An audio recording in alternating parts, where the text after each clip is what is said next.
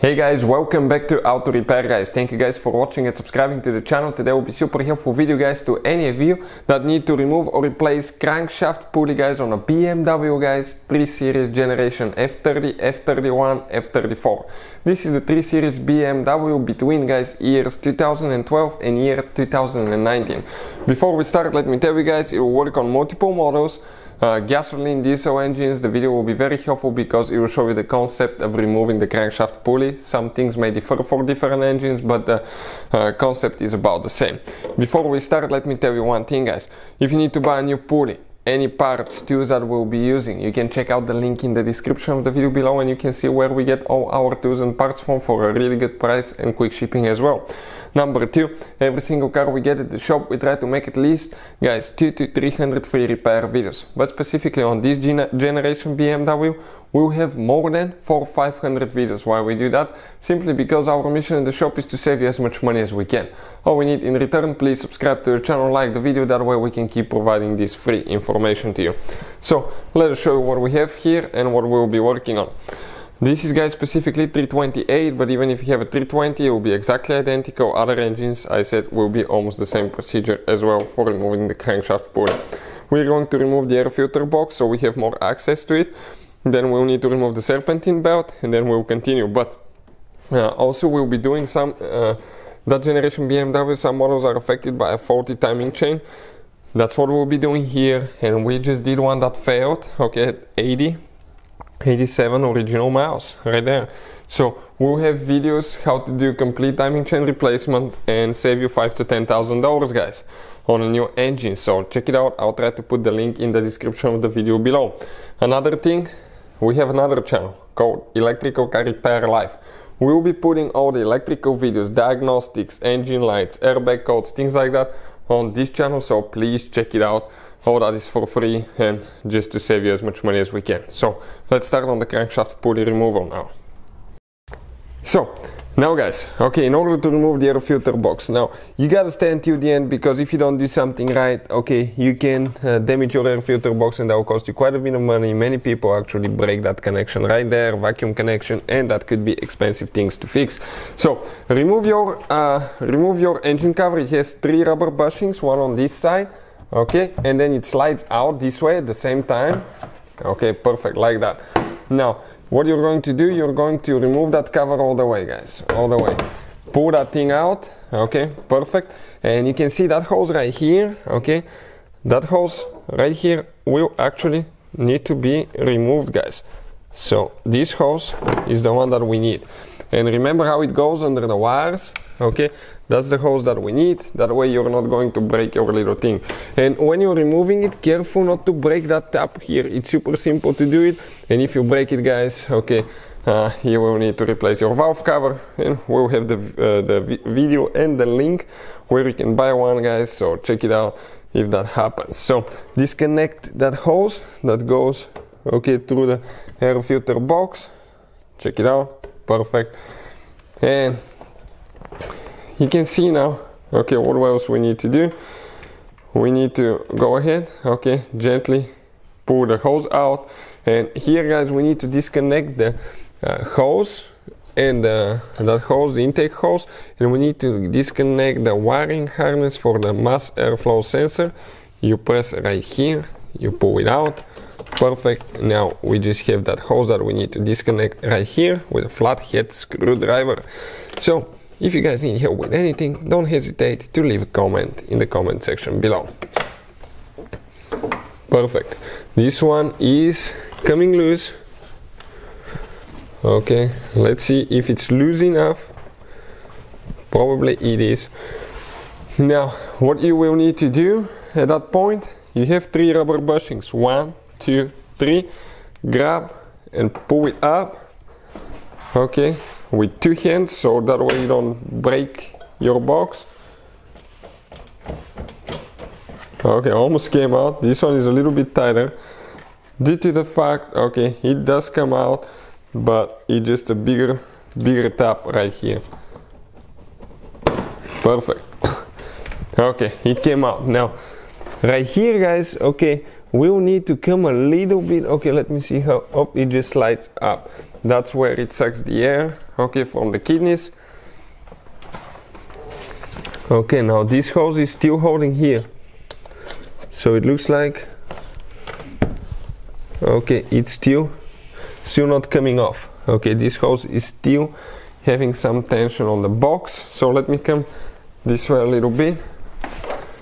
Okay and see okay I think we need to get the screwdriver and just pry it out gently. Careful not to break it. Grab it. Now that hose is going to come out. That's a piece that can break easily. Okay and this one has been repaired in the past. So we'll have a video actually on the channel how to uh, how to fix that one if that happens. Always cover your intake side. Okay right here and you can see the air filter box came out of there just like that. So now guys let us show you what we need to do actually to remove the belt. You have the crankshaft pulley here you have the AC compressor here alternator right here and this right here is your tensioner pulley. This is the one that actually keeps tension on the belt. Now, a few things that we're going to talk about that you uh, will recommend to replace when you replace belt or tensioner, make sure you stand till the end, and we're going to cover that, guys, uh, as well. But uh, we'll explain what you need to do now to remove that belt. You have one, okay, looks like a bolt here. You can see like a nut. Uh, this is with a 16 millimeter socket, guys, 16 millimeter, and uh, we're going to go ahead. You need a big, uh, big bar, and you need to go clockwise once you go clockwise it's going to release the pressure of the belt and you can pull it out of the okay out of the uh, alternator now alternator okay right here. Perfect. You can see it just comes out like that. Now you can let go. Perfect. And we can go ahead and pull the belt out okay check it out. Pretty simple. And the serpentine belt came out of there. You can see just like that. So now for the crankshaft pulley guys. We're going to get a 22 millimeter socket we need to hold the bolt in the middle right here. And while we're holding this one we're going to get a reverse Torx socket this one here. And uh, this one is actually reverse Torx 10 so we're going to hold it there okay? That way the engine will not spin. Okay you don't want to spin your engine guys. So I'll need to push that away clockwise while another person is getting the bolts loose one by one and those will be tight. Okay once you get them loose they'll start going by hand pretty easily. So no no no no this one is not good in at all. So what I'm going to do I'll just uh, go ahead okay and spin the engine a little bit. And let me see if I can reposition the socket. Ah one more step. Oh, we're going to twist the Okay, remove the socket, turn it quarter revolution. Okay. And that should give us room to remove another bolt. So we're going to do that for all six of them. Perfect. Now let's see. No, this one will not work again. So I'm going to do the same thing. Okay, let's I get stuck here. So we're going to get, uh, we're going to get guys another two. I'm going to show you because like that it's going to take a very very long time. We we got two of them loose. Now we're working on the third one. We're going to get one ratchet.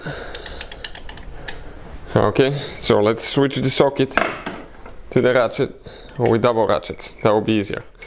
Because otherwise I'm hitting with that uh, long bar the upper radiator hose and I can break the radiator hose as well and we don't want that to happen so with that being said now let me show you now.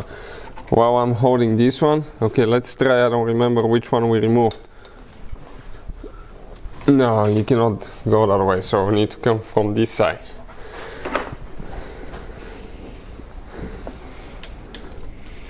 Okay. Let's try that now.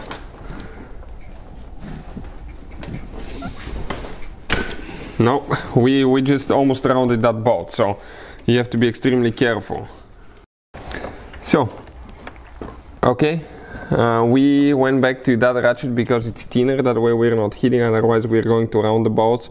If that happens, you need to remove everything, get the socket on and hammer it on the bolt to make sure it goes all the way in. Okay, and we remove the last one guys now, okay? this is the last one and uh, once you do that okay you can go ahead actually pull all that and uh, you need to start removing okay the bolts by hand. You can just go ahead and remove everything.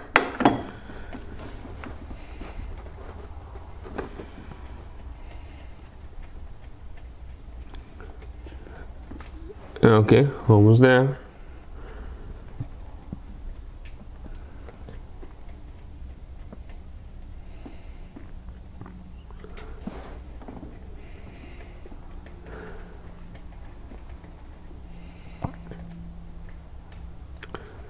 Okay, I think we have only two more guys. So let's see. Yep, last one on top here. See how that thing is going to come out.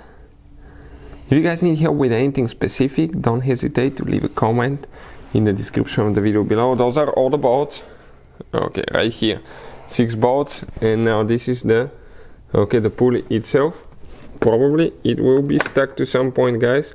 So we will need to uh, pry gently to come out. Uh, the middle bolt should not hold the pulley okay? It should be loose and the bolt should not hold the pulley at all. So uh, we'll go ahead okay and see if we can pry it out of there now. So we're going to get some Interfon spray. Really really good stuff guys. It breaks uh, rust like nothing else.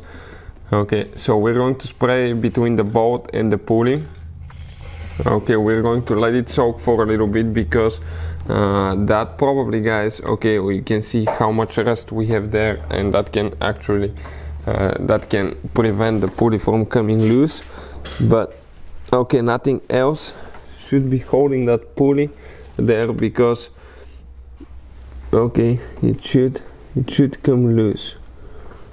Okay from what I can see it looks like it just goes there. Yep.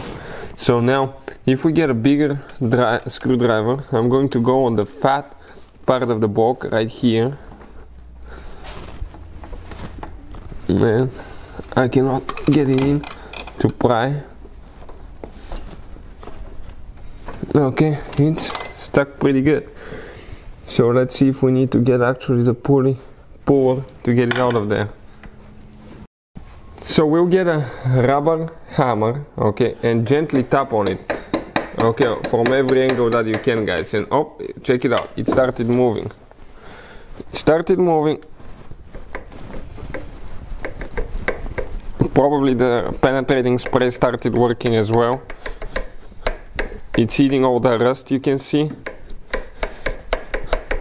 So let's spray just a little bit more if we have a little bit of spray because I see it started breaking the rust loose.